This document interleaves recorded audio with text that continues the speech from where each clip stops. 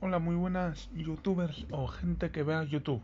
Hoy haré una crítica express de la película Norbit.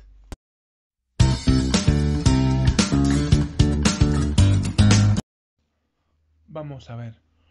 Cuando yo estoy en el baño cagando y por lo que sea huele a mierda, yo ya sé que es mierda antes de olerla.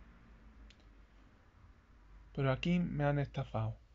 Y eso que la he visto solo en casa la película. Y os diré por qué me han estafado. Porque me he ido a Google y pone al 90% le gustó la película.